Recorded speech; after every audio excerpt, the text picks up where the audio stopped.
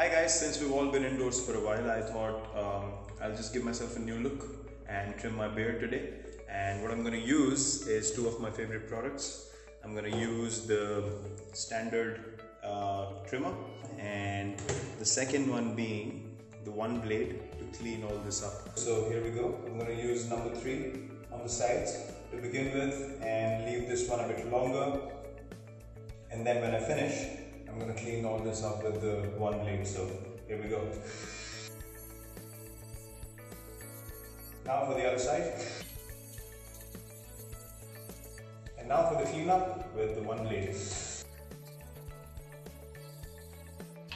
So here it is guys, um, number 3 on the sides, number 8 in the center. I quite like the look, it's quite fresh, it's quite different and um, I'm just gonna wait and watch how you guys do this look for yourselves and then send in what you've done and I'll give you my response. All the best.